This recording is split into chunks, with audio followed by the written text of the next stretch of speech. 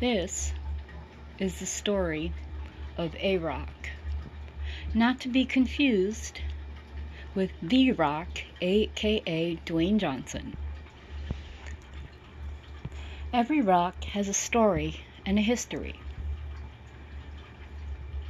Some of the oldest rocks are in the Adirondack Mountains in upstate New York. And many of them are as old as 2 billion years. Most mountains are created by stress or volcanic activity and form rocks such as these lava. And this is what a lava looks like after it's been cooled. And it forms these particular types of rocks. But that is not how the Adirondack Mountains were created. The Adirondack Mountains were created by heat and pressure when the North American continent collided with oceanic plates. The collision, still to this day, causes the mountain to lift up a millimeter every two years. Now that may not seem very interesting, but it's still different than how other mountains have been created. This collision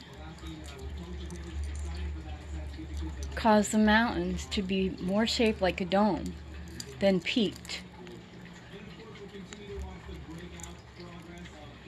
Now, we learned in earth science class that there are many different types of, there are three types of rocks.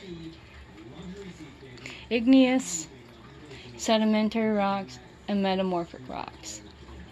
Basic rocks. But each rock is different.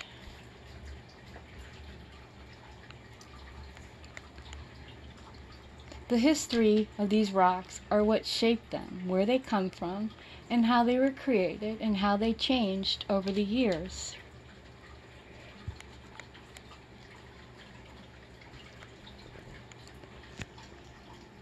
With erosion and water movement, even fire, air, and earth, each rock, no matter how big,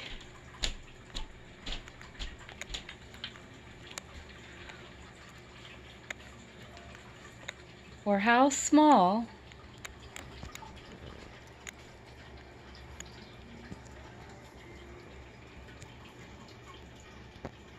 has its own path from a chip off a mountain and that is marble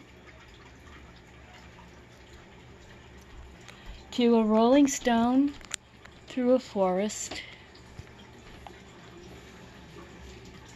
or one being pushed down the creek for miles and resting on the base of the creek bed.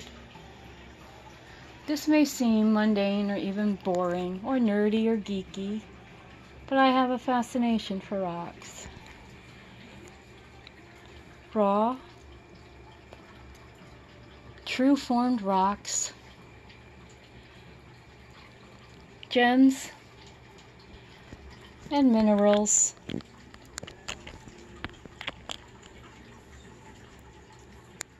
And of course, even sometimes when they are polished.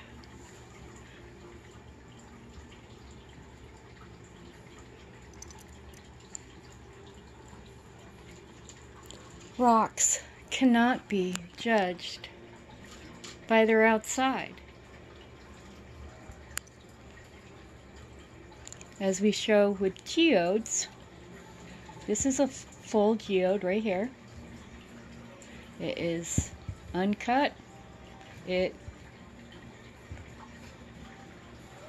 It's just a whole geode. But when we cut a geode open, the beauty inside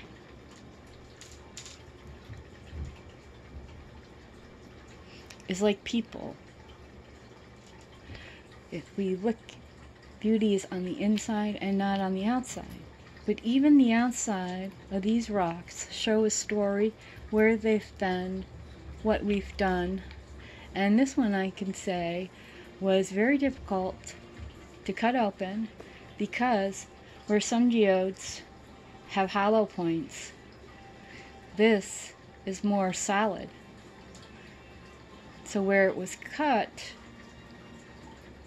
it may have been hollow in here, but not in here.